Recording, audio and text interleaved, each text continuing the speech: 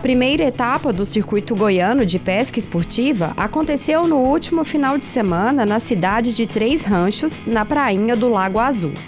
O evento tem o intuito de fomentar a preservação do meio ambiente e de todas as espécies, além de incentivar o desenvolvimento econômico das cidades. E vocês estão achando que pescaria é coisa de homem?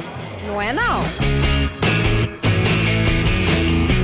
Valdelice, mais conhecida entre os pescadores como Val, faz parte da organização do evento junto com seu esposo Paulinho.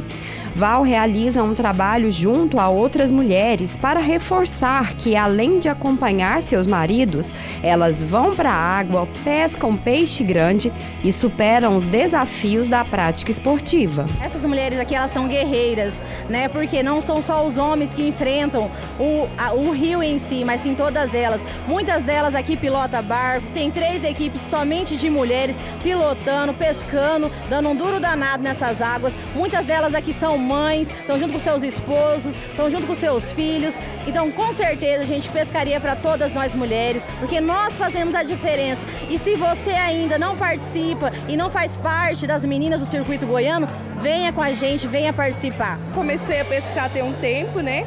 Antigamente eu só acompanhava meu esposo, que também tem uma equipe de pesca. A gente ficava no barranco, ajudando a Val.